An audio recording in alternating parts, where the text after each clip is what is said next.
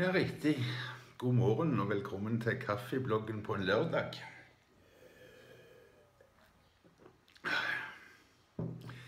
Ja, det foregår en mat- og kulturfestival her i byen. Den skal vi se på helt til slutt i dagens veldig korte kaffeblogg. Jeg har så vondt i ryggen at jeg kan ikke sitte her og prate noe særlig. Vi får starte med å få med oss været. Det ser jo ikke noe særlig ut, da. For en halv time siden dette ble tatt opp. Men nå kommer jo solen fram, så jeg tror ikke det er noe varig problem. Jeg tror, eh, jeg tror det blir bra, jeg. Men det så jo litt skummelt ut da, med så grå himmel i den sto opp. Ja, ja. Åh.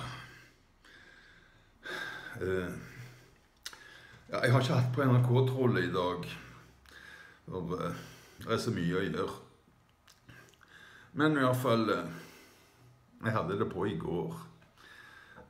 Jeg syns det er helt sykt at i Norge skal være en måneds ventetid på å få seg et pass i en, i en stor by. Altså, hva er det politiet holder på med? Bare narkotika? Kutt ut og forfølg hasjrøykere og begynn å stede ut pass i stedet for. Gjør noe fornuftig.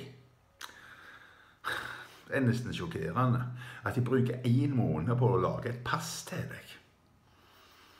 Det er helt på trynet. Det finnes jo løsninger. Dra til et lensmannskontor, så får du det på dagen omtrent.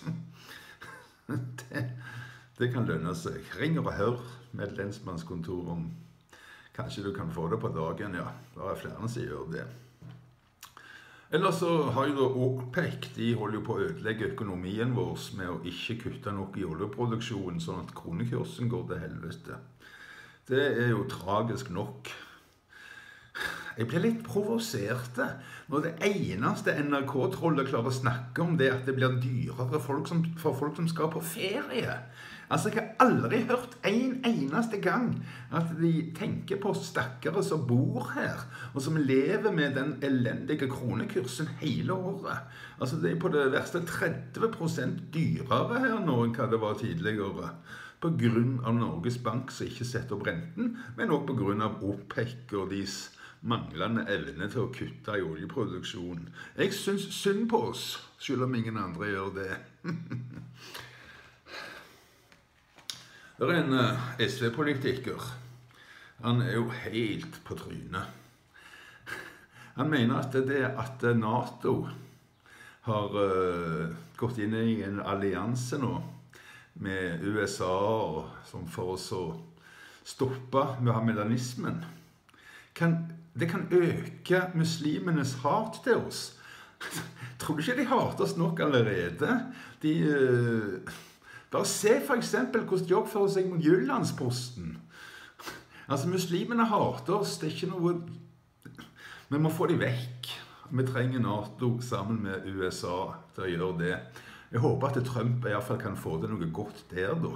For han hater òg muslimer.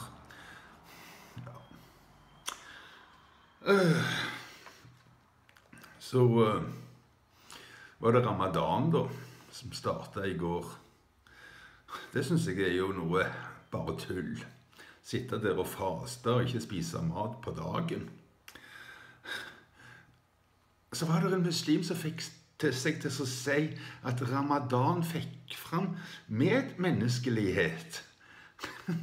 Men det er jo ikke noe medmenneskelighet i muhammedanismen. Det er jo bare hat og vold. Ja, ja.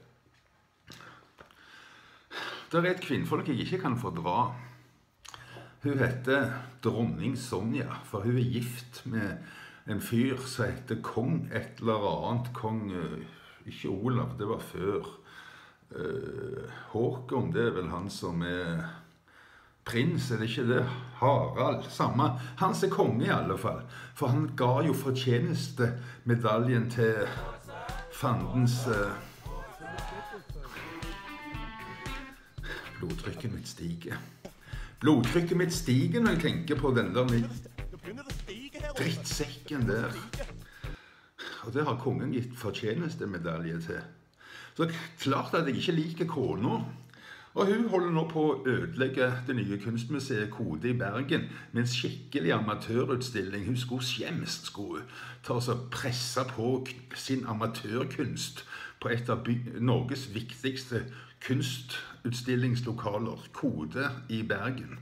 Jeg syns det er helt forkastelig at kongehuset skal misbruke makten sin til å presse amatørkunst på kunstgalleriene. Og så Jeg glemmer aldri at mannen hennes skal fortjenestemedalje til det svinet. Kommer aldri til å glemme det. Ja. Jeg har vondt i ryggen, som sagt. Jeg klarer ikke å sitte her mer enn nå. Jeg håper at jeg klarer å komme meg ut på mer Rota de la Tapa i dag. Jeg var det i hvert fall i går. Det skal dere se nå. Jeg eh, har akkurat fått været fra Stavanger, så det kommer vel helt til slutt, det, da. Ja, det gjør du vel. Skal vel få til det.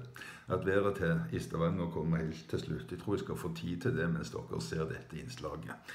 Dere får i hvert fall ha en riktig, riktig god lørdag.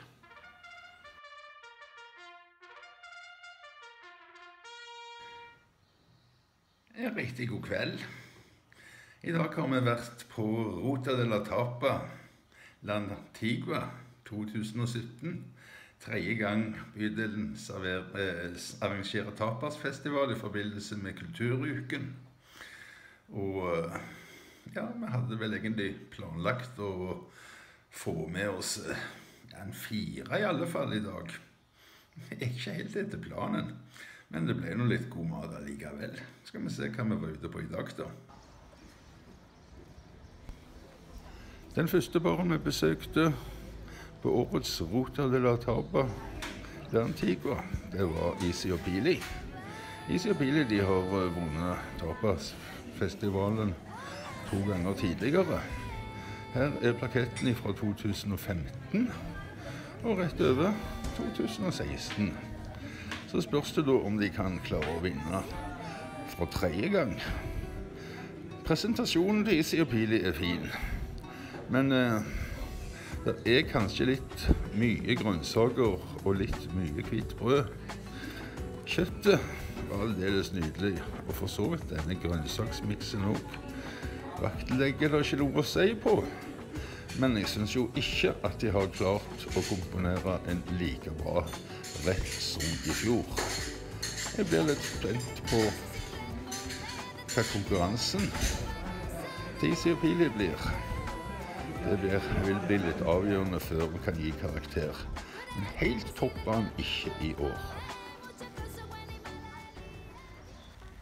Rett i nærheten av Isi og Pili ligger Las Tacitas vi hadde tenkt at det skulle være den andre tapasen vi smakte. Men de følger ikke ruteplanen, holdt jeg på å si. Ifølge programmet så skal det være åpent nå, men det var stengt. Vi gikk til La Encina, som jo heller ikke ligger så veldig langt vekke. Et koselig lokale som har uh, virkelig oppgradert uteserveringen sin i det aller siste. De har jo alltid lagt veldig god mat på La Encina. Og i år så vil jeg nesten si at det smakte bedre her enn hos og Pili. Men presentasjonen var ikke noe særlig. Det er tre stykker med kjøtt. Vi spruta på litt ja, Ketsjup er det vel egentlig ikke, da. Uh, altså på et brødstykke. Men det er ikke ketsjup. Jeg vet ikke helt hva det er, faktisk. Det smakte iallfall nydelig, men uh, presentasjonen den var ikke så fantastisk at det gjorde noe. Men dette er en farlig konkurrent til å vinne, altså. Det må jeg bare si. Det smakte helt utrolig godt, dette her kjøttet deres.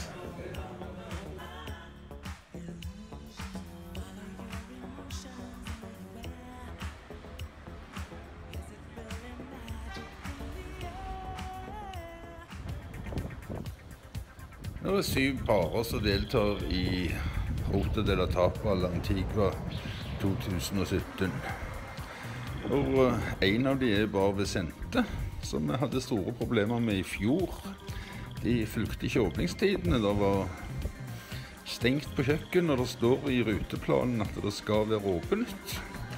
Så uh, vi fikk ikke smakt denne tapaen. Og plutselig så var hele åpningstiden til kjøkkenene rundt omkring forbi, så det ble bare at vi fikk smake kun to taper i løpet av hele dagen. Og det syns vi ikke akkurat er så veldig tilfredsstillende, da. Jeg hadde iallfall klart, håpet å klare minst halvparten. Vi får gå tilbake på lørdag til vi sendte og se hva de kan servere oss da.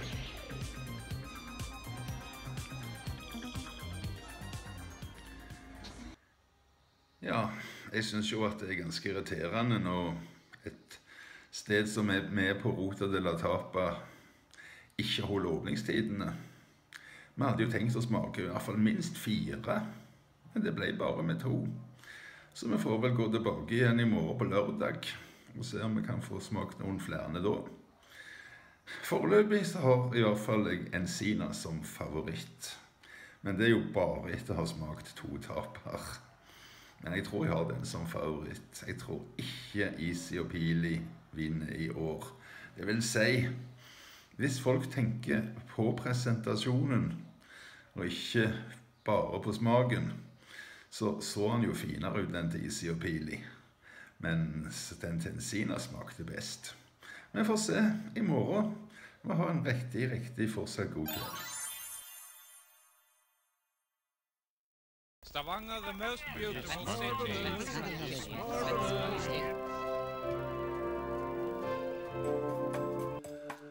Stavanger får i dag en av de få fine dagene i løpet av hele sommeren. Dessverre har bildet blitt litt skade i overføringen, men dere ser jo at solen er framme. Og det skal den være i hele dag, og det skal være etter stavangerske forhold en relativt brukbar temperatur. Men det varer bare i dag, så kom dere ut og nyt det, for at i morgen kommer regnet tilbake. Men i dag er det bra i Stavanger. Jeg håper at det blir mange sånne dager. Tenk hvis det hadde blitt 14 dager sammenhengende sol i Stavanger. Hvilken glede. Ha en riktig god lørdag.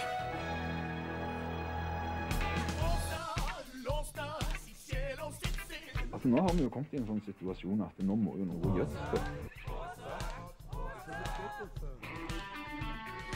Det som skjedde, var at eh, Åse Kleveland fikk en sånn fiks idé.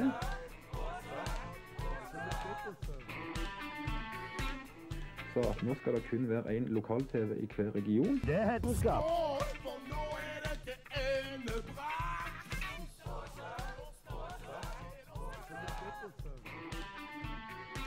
Og det er hedenskap. Hedenskap folk ut. Det som fremgår denne kringkastingsloven, det er bøter eller fengsel inntil seks måneder for overtredelse av denne loven. Det. Da var det sånn de jobba under krigen òg, for å finne disse her, sabotørene. Du skal folk ut. For nå er dette endebrakt.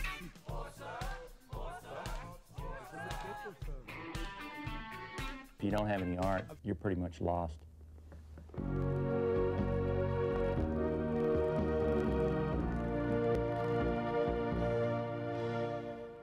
Hetenskap folk ut uten. Det